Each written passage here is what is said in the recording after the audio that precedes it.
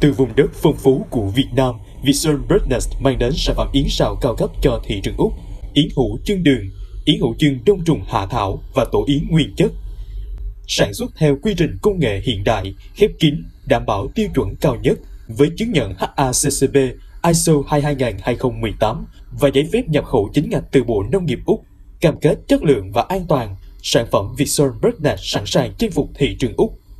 Chú trọng đến từng chi tiết, đảm bảo sản phẩm an toàn, sạch và dinh dưỡng. Chúng tôi đang cần hợp tác với các bạn. Vision Birdness đem đến sức khỏe và phồn vinh từ thiên nhiên. Hãy trở thành đối tác của chúng tôi ngay hôm nay.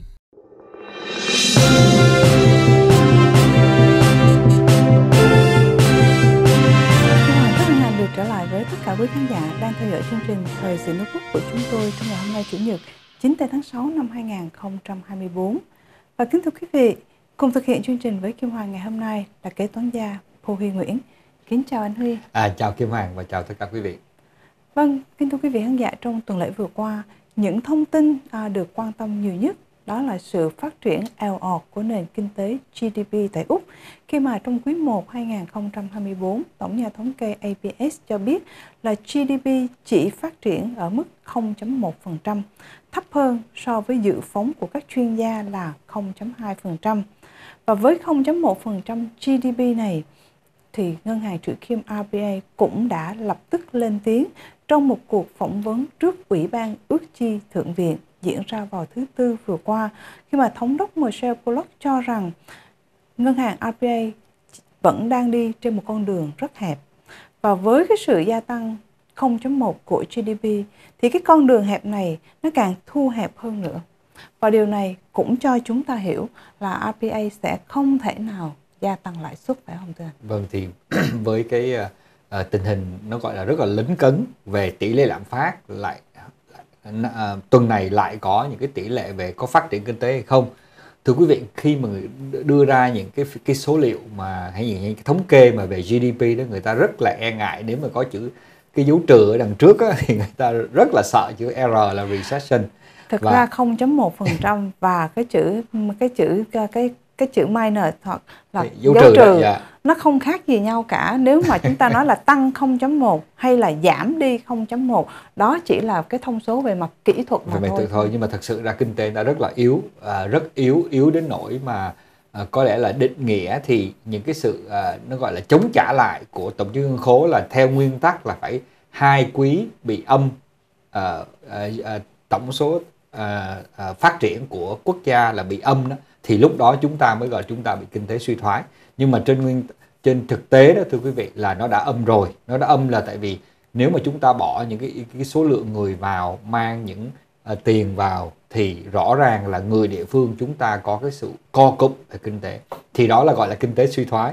Và cái chuyện này nó cũng đã xảy ra nhiều tháng trước nay rồi và nó còn tiếp tục xảy ra trong những ngày tới. Và năm 2024 là cái năm thử thách không những với lạm phát hay không và lại còn kinh tế đang bị suy thoái cho nên trở lại cái điểm mà về kỹ thuật đấy Kim Hoàng có một cái danh từ nó gọi là stagflation nhưng mà còn nhớ đó là chúng ta vừa có tỷ lệ thất nghiệp đang trên đà đi lên tỷ lệ lạm phát đi lên và GDP của chúng ta là kinh tế phát triển bị, âm xuống. thì ba cái yếu tố đó hợp lại là kinh tế nó gọi là bị kiệt quệ thì chúng ta không muốn điều đó xảy ra nhưng mà cái hướng có lẽ là nó nó đi theo cái hướng như vậy yeah. Và trước bối cảnh này thì ngay sau khi à, Tổng nhà thống kê ABS loan báo về GDP ở mức 0.1%, bước sang ngày thứ năm, Bộ trưởng Ngân khố Jim Chalmers cũng đã chống đỡ à, khi ông tham gia một cái bài phỏng vấn với chương trình Today của đài số 9.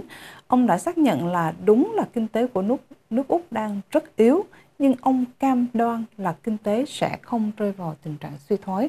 Vẫn tin chắc là nền kinh tế của Úc nó dẻo dai hơn và Jim Chalmers đã viện dẫn sự phát triển kinh tế của 38 quốc gia trong tổ chức OECD khi mà ông cho rằng Úc quốc gia, nước Úc của chúng ta là quốc gia duy nhất vẫn chưa rơi vào tình trạng kinh tế âm trong khi hầu hết các quốc gia khác đặc biệt là Đức và cũng đã bị suy thoái kinh tế vâng, sau khi vâng. có hai quý âm liên tiếp. Vâng và và cái dấu hiệu đó đã đang xảy ra ở những nước đã phát triển và hình như là uh, trong tuần này thì Kim Hoàng cũng có những cái tin là Canada bắt đầu trên đường hạ lãi suất à, để vâng. một cái vấn đề là nó gọi là cứu vãn cũng như là các khối châu Âu những nước ở khối EU cũng đang chuẩn bị để hạ lãi suất thì chúng ta thấy một cái ánh sáng cuối đường hầm đây là một cái chu kỳ mới là vì kinh tế nó quá gọi là khó khăn chứ nếu không nói là kiệt quệ Kim Hoàng. Yeah.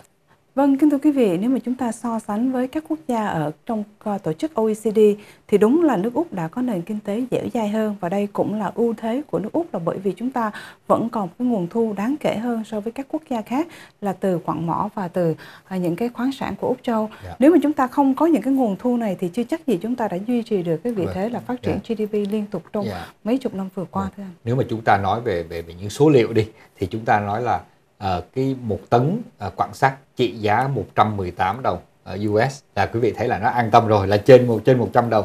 Trong khi nếu mà à, cái ngân sách của cái ngân khố của nước úc á, họ chỉ tính cái giá là cái quặng sắt khoảng chừng bốn năm chục đến họ khôn lắm họ không bao giờ tính ở cái giá maximum. Dạ, họ luôn đấy. luôn họ tính ở cái giá trung bình hoặc là chỉ tượng trưng 50 hoặc 60 phần trăm dạ. mà thôi. Đưa ra cái tin xấu trước rồi nếu mà tin tin tốt mà nó có quay lại thì thì uh, uh, ngân khố sẽ là anh hùng ở Kim Hòa và à, nếu mà ờ, nếu mà chúng ta nói xa hơn mà hơi lái qua về vấn đề chính trị đó thì có phải là cái vận mệnh của đảng lao động sẽ dựa vào hai cái quý tới để nếu hai cái quý đó mà có dấu trừ đằng trước á, thì chúng ta là chính thức ở recession thì tất cả là giới truyền thông sẽ đánh cái chữ recession đó tất cả mọi nơi thì cái vận mệnh của đảng lao động thì nó khó lòng mà giữ được. Uh, những những cái những cái, cái ghế mà họ họ đang có là là tiếp tục cái cái cái nhiệm kỳ thứ hai. Thưa quý vị tất cả các các nước đã phát triển trên thế giới mà mỗi lần mà chính mỗi lần mà bầu cử đó kinh tế bị suy thoái là một cái yếu tố rất là đe dọa khủng khiếp nhất mà hơn tất cả những cái cái cái cái, cái mục tiêu khác. Tại vì một khi mà người dân cảm thấy là người dân đang bị khó khăn về tài chính cũng như là kinh tế gia đình bị eo hẹp nó bị co cụm lại đó thì họ sẽ đưa cái lá phiếu của họ vô những cái nơi là cái bên như đảng kia sẽ xanh hơn hay hay là đã tốt đẹp hơn thì là thì đó là cái cái sự nguy hiểm trong một cái cái tình huống là kinh tế suy thoái. Thật ra đảng lao động hiện nay không những đang gặp khó khăn về vấn đề kinh tế. Mặc dù Bộ trưởng Ngân khố Jim Chalmers cũng như là Thủ tướng Albanese đang cố tỏ ra là kinh tế của nước Úc rất là vững mạnh và sẽ càng vững mạnh hơn nữa sau ngày 1 tháng 7 khi mà người dân bắt đầu nhận được những cái sự hỗ trợ 300 tiền điện từ chính phủ, cũng như là cái chương trình giảm thuế giai đoạn 3 đã bắt đầu nó có tác dụng. Thì ông Chalmers cho rằng kể từ thời điểm sau tháng 7 thì mọi người sẽ có nhiều tiền hơn để chi tiêu và khi mà chi tiêu gia tăng thì nó sẽ đóng góp cho nền kinh tế GDP của nước Úc. Tuy nhiên đây chỉ là lập luận của Bộ trưởng Ngân khố Jim Chalmers mà thôi. Trong khi người dân Úc thì cũng không còn thiết tha với những cái viên kẹo ngọt mà chính phủ đưa ra bởi vì họ đã có kinh nghiệm rồi và nếu mà có được tiền họ vẫn sẽ không chi tiêu bởi vì đây là thời điểm thắt lưng buộc bụng. Ngoài ra cái khó khăn thứ nhì ảnh hưởng không hề nhỏ đến cuộc bầu cử sắp tới đó là lĩnh vực di trú. Yeah. Dạ. Thời gian vừa qua chúng ta thấy những cái yếu tố nó ảnh hưởng trực tiếp đến Bộ trưởng Di trú trong chính phủ Albanese Andrew Chow khi mà cái sắc lệnh 99 đã bị chỉ trích rất nhiều. Và ngày hôm qua thì chúng ta lại thấy cái list cho những cái trường hợp được định cư hoặc là những cái trường hợp visa tai nghề đến Úc lại một lần nữa gây sửng sốt cho tất cả mọi người. Không ai hiểu lý do tại sao mà những cái ngành nghề như là giáo viên dạy yoga cũng được đưa vào danh sách được có cơ hội thường trú nhân tại Úc. Những, uh, đây, uh, những người dạy yoga, những người dạy võ à. và những người uh, chăm sóc chó như vậy thì đây là một cái một cái danh sách nó gọi là à, chúng ta gọi là vô lý các quý vị? Trong khi tại sao những cái tay nghề huyết mạch cho những cái ngành xây dựng lại lại không có nằm trong danh sách đó? Và cộng thêm đổ dầu vào lửa thì gần đây có những cái sự nó gọi là sự than vãn về cái sự phí phạm của của chính phủ. Cả cả hai cấp tiểu bang và liên bang trả quá nhiều tiền cho consultant là những người cố vấn. Để chưa làm gì hết chưa được cái căn nhà nào xây ra được hết mà họ đã tốn gần cả chục triệu để đi thăm họ đi cố vấn đi tìm kiếm những cái Ờ, dữ liệu này dữ liệu kia nhưng mà rốt cuộc là chúng ta người đóng thuế không có được một cái hiệu quả nào. Cho nên trở lại cái vấn đề mà cái năng suất của nước úc chúng ta phải coi lại. Nếu nước úc muốn khá muốn phát triển hơn thì cái, chúng ta phải nâng cái năng suất lên. Quá nhiều tiền đã được xài ra nhưng mà không thấy cái hiệu quả. Yeah. Vâng và khi mà nâng năng suất lên thì chúng ta phải có một cái ekip lao động lành nghề và cái ekip lao động lành nghề này ai cũng nhìn nhận là không thể có được từ Úc, nước Úc mà phải à, nhập cả, nhập khẩu họ từ nước ngoài nhưng mà cái chính sách di trú hiện nay thì nó đang thắt chặt với một cách ờ, rất là khắc nghiệt đối với những nhu cầu cần thiết thực sự nhưng lại mở ra những cái cơ hội không công bằng đối với những ngành nghề được cho là không cần thiết và đó là lĩnh vực di trú của chính phủ lao động hiện nay cũng đang bị điểm trừ và chúng ta sẽ nói sang cái lĩnh vực thứ ba đó là lĩnh vực mà anh Huy vừa mới đề cập là gia cư. Yeah. Dạ. Gia cư vẫn là một cái đề tài rất là nóng là bởi vì mặc dầu chính phủ xác nhận là trong năm vừa qua hơn nửa triệu người đã được định cư vào Úc và đó cũng là nguyên nhân làm cho tình trạng gia cư trở nên đắt đỏ và khan hiếm và họ cam kết giảm hạ số lượng trong năm tới 2000 trong năm tài chính sắp tới để mà đưa cái mức cầu và cái mức cung nó trở về uh, một một nhịp với nhau. Có nghĩa là nó sẽ không bị quá tải nhưng mà trong bối cảnh này thì có lẽ là đã quá trễ. Bởi vì cái giá nhà nó không thể ngừng được nữa thưa anh. Dạ. giá nhà đặc biệt Sydney nó vẫn tiếp tục gia tăng và một căn nhà medium price là mức giá trung đoạn đã lên đến 1 triệu 400 ngàn đô dạ. la. Đây đây là một cái cái điều mà uh, nó có tiếp tục dàn dai trong suốt nhiều thập niên qua và uh, nó vẫn tiếp tục. Là vì bao nhiêu lần chúng ta cảnh báo về lãi suất nhà vẫn không nguội chúng tôi nó vẫn nóng và vẫn những cái cái cuộc đấu giá nó vẫn tiếp tục xảy ra. Tuy nhiên có một cái thành phố là nó đang bị đang bị tấn công hay là đang bị dịu nhất là đó là Melbourne. Và vì cũng vì vậy đã Brisbane đã đứng hàng thứ nhì sau Sydney. À, Sydney thì không nói ai cũng biết là đây là cái thủ phủ của nó là đất đai nóng nóng rất nhiều và trong những cuộc đấu giá hầu hết những cuộc đấu giá đã hơn uh, cái giá bán nó, nó hơn cái sự mong đợi của của của của người bán. Thì Kim Hoàng thấy là trong suốt 4 năm qua kể luôn giống như tình, tình trạng Covid chúng ta không thấy cái căn nhà nào nó gọi là bị nó bị ế và nó cứ tiếp tục nó bán và bán một cái giá nó gọi là quá bất ngờ. Ngay cả đến thời điểm hiện tại là tuần vừa rồi thì cả nước Úc đều có những cái auction clearance rất là cao. Ngoại trừ Melbourne Melbourne thì uh, người ta nói là nó hơi yếu hơn tuy nhiên cái cái nhu cầu nó vẫn còn rất cao. Cái lý do mà Melbourne nó yếu đó Kim Hoàng là tại vì những cái thuế của tiểu bang họ, họ hầu như nhưng mà như vậy thì họ đã thành công nếu mà chúng ta nói một mặt khác thì tiểu bang Victoria đã thành công để mà kềm hạ cái kềm hạ yeah. cái sự gia tăng giá cả đánh vào người đầu tư đánh vào người đầu tư yeah, vâng. để người và địa phương để những người mua nhà đầu tiên có cơ hội bước chân yeah, vào lĩnh vâng. vực nhà cửa nhưng mà Kim Hoàng cũng thấy là uh, họ uh, ở tiểu, tiểu New South Wales cũng vậy họ đã đã đưa những cái thuế land tax với stamp duty thuế con niêm cũng như là thuế thổ trạch rất là cao đánh rất là cao nhưng mà cũng không không có có, có ngăn cản được cái số lượng của người nước ngoài uh, bỏ nuôi vào úc nhưng mà uh, cái nhu cầu của người địa phương lại càng ngày tiếp tục gia tăng thì bao nhiêu những người di dân họ đi 2 năm 3 năm thì họ sẽ muốn sở hữu một căn nhà và nó cái cái chu kỳ nó cứ tiếp tục đi như vậy Vâng, thị trường nhà cửa tại Úc đúng là có cái sự xoắn đổi ngôi vị khá là ngạc nhiên. À, chúng ta sẽ không nói đến Sydney và chúng ta chỉ nói đến Sydney, ờ, Brisbane và Melbourne mà thôi.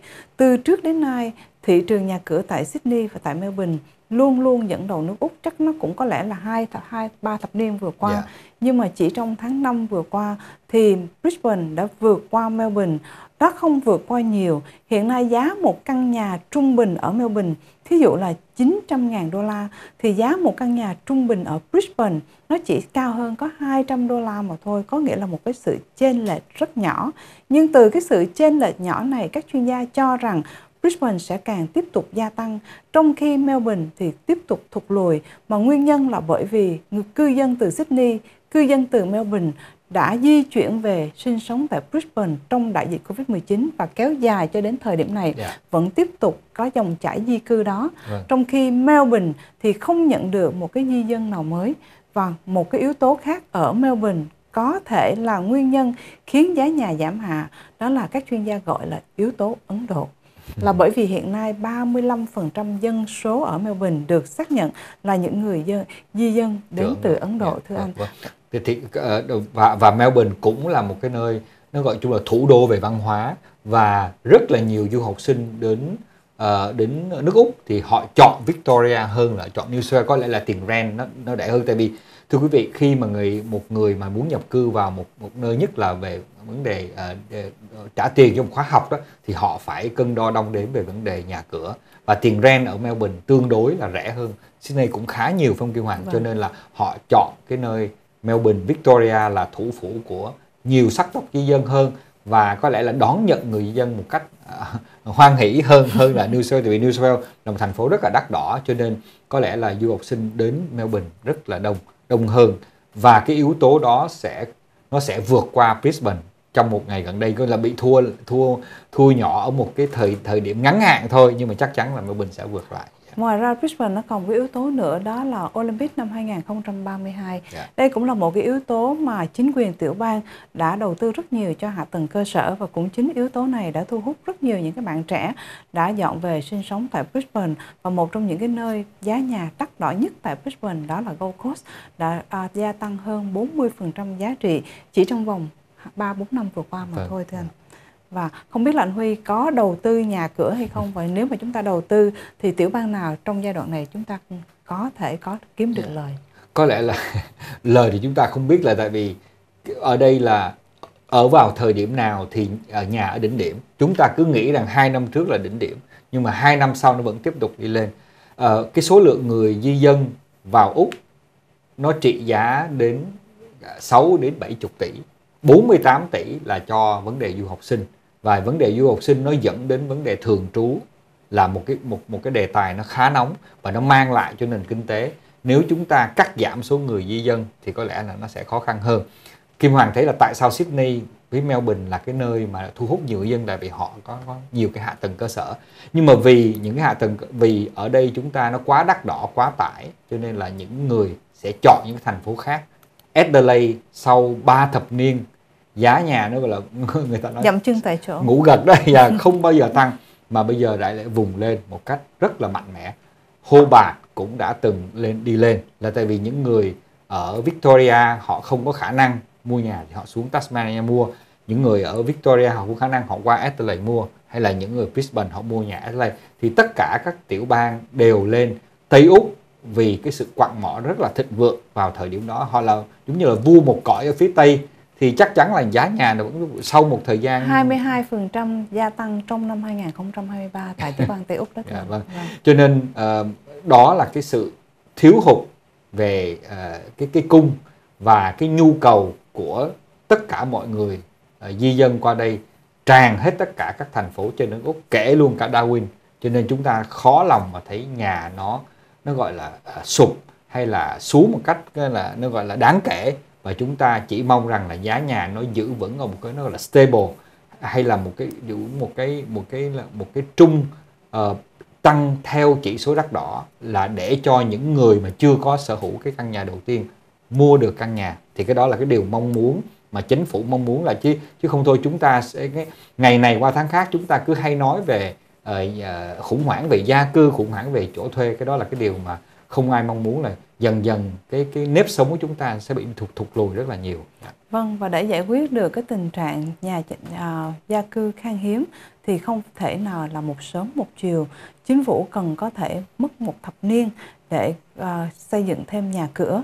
Và cái mục tiêu đầu tiên là trong 5 năm sắp tới xây dựng thêm 1 triệu 200 ngàn ngôi nhà của chính phủ lao động Anthony Albanese cho đến thời điểm trước uh, trước khi bắt đầu có nghĩa là bắt đầu vào ngày 1 tháng 7 chúng ta đang ở vào thời điểm giữa tháng 6 còn hai tuần lễ nữa chương trình này đi sẽ bắt đầu nhưng nhìn chung theo đánh giá của các chuyên gia là chính phủ rất khó đạt được tham vọng của mình.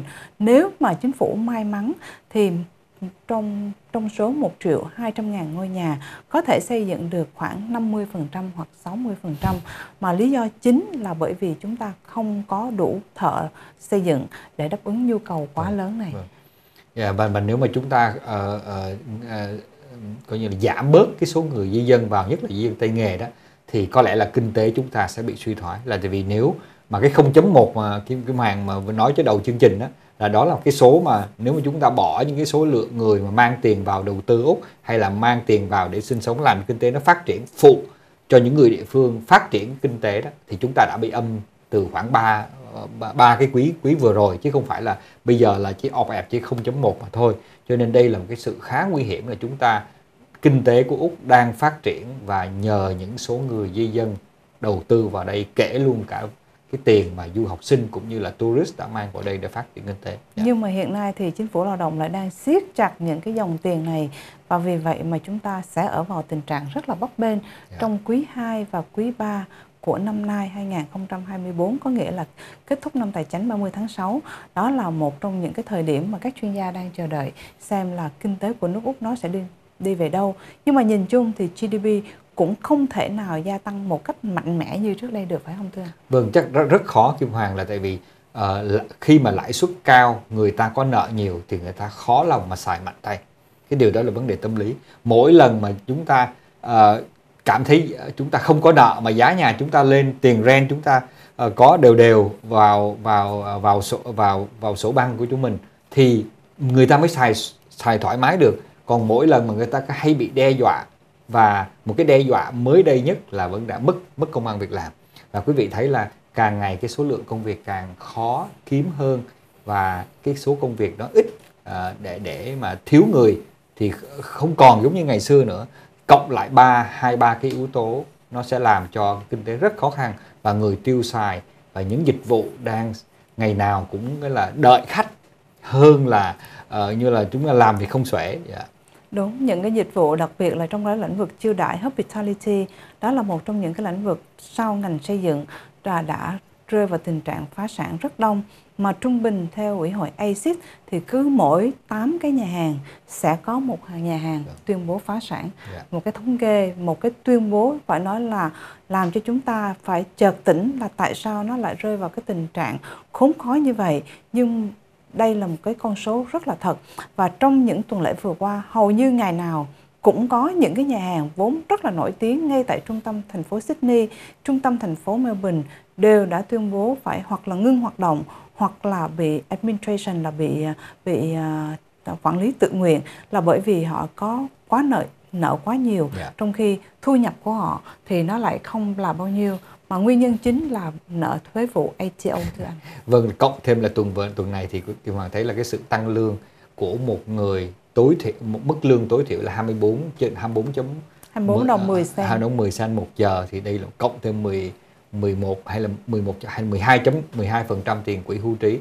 Cộng thêm những cái cái cái cái cái những cái uh, holiday pay với lại public holiday đó thì chắc chắn là uh, những những cái thương vụ mà về dịch vụ nó khó lòng mà tồn tại được. Thì chúng ta thấy cái viễn ảnh nó càng ngày càng khó khăn hơn. Uh, đây cũng là một cái ờ, cái điều mà rất là đáng tiếc cho năm 2024 chúng ta toàn thấy những cái áp lực về kinh tế đè lên cái gánh nặng của gia đình càng càng nhiều. Yeah. Và khi anh Huyên nói nhắc tới cái vấn đề là lương tăng, sick leave cũng tăng và super cũng tăng, điều này đã khiến cho chủ doanh nghiệp họ cũng phải tăng cái tiền surcharge là cái tiền đối với khách hàng vào cái dịp lễ hoặc là vào cái Weekend, dịp cuối dạ, tuần vâng. và đây điều này lại khiến cho khách hàng trùng bước họ không dám tiêu xài bình thường họ có thể đi ăn uống họ trả khoảng 100 đô la nhưng vào ngày cuối tuần long weekend ngày lễ thì họ phải trả 110 hoặc 120 đô la dạ, yeah. Dạ. và nó là một cái hiện tượng domino bởi vì chủ nhân không thể tự gánh vác cái chi phí này họ chuyển những cái chi phí này sang cho khách hàng và khi mà khách hàng thấy những chi phí đó thì họ sẽ không dám chi tiêu nữa yeah, yeah. và tất cả đó là một cái bối cảnh đưa đến cái sự suy thoái kinh tế hoàn toàn có thể xảy. Dạ. ra. Kim Hoàng dùng cái từ rất hay là trùng bước tới quý vị trùng bước có nghĩa là khi mà uh, tự nhiên cái một cái bill gửi ra uh, thay vì 100 đồng nó biến thành 115 đồng vì 15 đồng sơ trả. Thưa vị cái điều đó nó sẽ làm cho những cái sự dè dặt và thận trọng hơn cách xài tiền và chúng ta đã thấy chuyện nó xảy ra hơn một năm qua. Khi mà 13 lần tăng lãi suất bắt đầu có hiệu quả rồi đó thì rõ ràng là dịch vụ càng ngày càng bị khó khăn để để mà chống chọi ngày này qua ngày khác. À, khi mà mỗi lần mà những thương vụ đó bị cái rent review đó quý vị rent review là tiền nhà tăng hàng theo CPI đó thì người ta rất là lo. Và kể từ cái năm nay trở đi mỗi lần mà rent review như vậy đó thì chắc chắn những chủ thương vụ đã xét lại và như Kim Hoàng nói đó là cái tỷ lệ 10 đến 15% doanh nghiệp chuẩn bị sẽ đóng cửa nhất là tiểu thương phải đóng cửa nhất là những cái ngành dịch vụ vâng và đó là những cái bối cảnh khiến cho chính phủ lao động sẽ rất khó có được cái sự ủng hộ của cử tri trong cuộc bầu cử sắp tới phải không thưa? Dạ vâng, từ đây đến Noel nếu mà những tin tức kinh tế mà càng càng xấu đi à, có lẽ là vận mệnh của đảng lao động nó dựa vào những cái thống kê nó gọi là huyết mạch. Thì khi mà những cái thống kê được được ra thì chắc chắn là có sự mổ xẻ của truyền thông và họ sẽ đi sâu thêm và cái vết lan mà tin tức nó xấu càng ngày nó càng lan rộng hơn. Chứ nếu mà cái 0.1 này mà nói chừng vài ba lần rồi chấm hết thì người dân không không không có gọi là thấm. Tuy nhiên giới truyền thông cứ mổ xẻ, tin tức đưa ra nó, cho nên cái cái cái tin xấu nó còn xấu gấp mấy lần. Thưa vị, đó là cái cái góc độ chính trị mà chính phủ lao động đang tìm cách để chữa lửa, cũng như là tổng thống ngân khố Jim Chalmers đã lên nói là à chúng ta vẫn còn tốt hơn nhiều quốc gia như vậy. Nhưng mà tuần này đánh dấu ra một cái sự khá là quan trọng là những nước như Canada đã chuẩn bị vô trong cái chu kỳ hạ lãi suất. Thì câu hỏi đến, câu hỏi kế đến là không biết úc sẽ bao giờ làm được cái điều đó nếu nước Úc vẫn duy trì việc giảm hạ lãi suất vào cuối năm 2025, đó sẽ là một cái thời gian vô cùng khó khăn cho hàng triệu người đang có nợ thế chấp. Vâng. Dạ. Trước khi chúng ta chấm dứt chương trình, không biết là anh Huy còn có những thông điệp gì muốn gửi đến cho khán giả hay không? Vâng, à, có lẽ là chúng tôi đã đã đã đưa, đưa ra cho quý vị những cái thông tin thật là xấu trong, trong tuần này, nhưng mà hy vọng trong tuần tới chúng ta sẽ có những cái thông tin tốt đẹp hơn à, những cái chỉ số kinh tế và tốt đẹp hơn chúng tôi hay theo dõi những cái giá khoáng sản của nước úc. Và đây cũng là một cái điều mà nó chúng nước úc dựa vào mà nhiều người ta người ta không biết như là uh, cái vấn đề xuất cảng của thịt bò chẳng hạn. Và chúng ta mong những ngày tới là chúng ta sẽ bán được nhiều hàng hơn. Thì cái đó là cái nó gọi là cái điểm huyết mạch mà cái doanh thu của nước úc cũng như là cho đến người dân. Tại vì càng nhiều doanh thu chúng ta sẽ có càng nhiều ạ. Nhưng mà gần đây đi cái hoàng doanh thu vô thì là một chuyện tốt tuy nhiên chính phủ phải làm sao mà để cắt bỏ đi những cái sự phí phạm như là vấn đề NDIS tuần này có những cái scandal là tiền mà hỗ 5% trợ 5% cái quỹ NDIS NDIS hiện nay đang chi tiêu là khoảng 49 tỷ đô la mỗi một năm yeah. Dạ. và 5% có nghĩa là 2 tỷ đô la một đã xài một cách rất là phung phí. Có nghĩa là những cái provider là những cái nhà cung cấp NDS họ chi tiền vô tội vạ. Yeah, nhiều khi lợi không, dụng yeah. không nhằm mục đích để phục vụ cho những cái người có nhu cầu mà phục vụ cho những cái nhu cầu khác. Dạ và... những nhu cầu thật là nó gọi là nó nó nó không có đúng và và và nó đã bị lên án. Và chính phủ đang rất là đắn đo về cái chuyện này và họ phải làm sao mà tiền của người đóng thuế không được xài phí phạm nhất là trong một cái thời điểm tình huống kinh tế khó khăn như vậy và Bộ trưởng Bill Shorten sẽ là người phải đối diện với những thách thức này thưa anh. Vâng, vâng với những thông tin vừa rồi, Kiều Hoàng và kế toán gia Paul Huy Nguyễn cũng xin tạm kết phần thời sự của chúng tôi ngày hôm nay. Một lần nữa rất cảm ơn sự quan tâm theo dõi của tất cả quý vị. Kiều Hoàng xin trân trọng kính chào và chúng tôi sẽ trở lại trong những chương trình sắp tới. Chào anh. Yeah, dạ, chào Kim Hoàng và xin tạm biệt.